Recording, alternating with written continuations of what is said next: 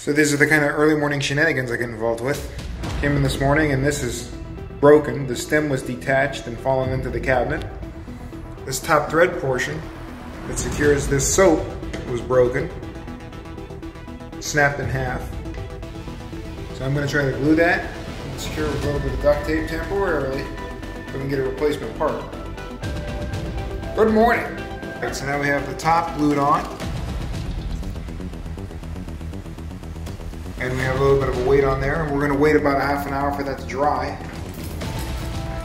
and then I'm to reattach it thread under here and I'm going to secure a little bit of duct tape around the whole vessel and then on top over over the threads so that it will additionally secure the soap dispenser bottle.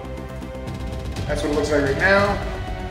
That's what it's supposed to look like. Alright, so we're in the last leg of this. This is glued add extra security. I have some tape here dangling. I'm gonna put this tape up here, and I'm gonna wrap another tape around the top of the threads once I screw this in. And that'll be good and secured temporarily until we can get a replacement dispenser. There it is installed.